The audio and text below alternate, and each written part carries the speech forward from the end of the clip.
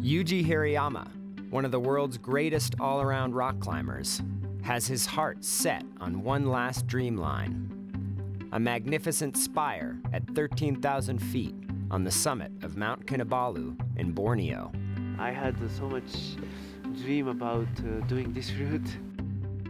Teaming up with the young American Daniel Woods, Next year I want to visit again. It could be very nice, you know, combination. One of my icons was inviting me to go climb with him, and I immediately was in. でそこはこいつはなんかまだ磨かれてない原石だなっていうかね Do you have rope today? The rope. the master and his unlikely apprentice set off on the expedition of a lifetime.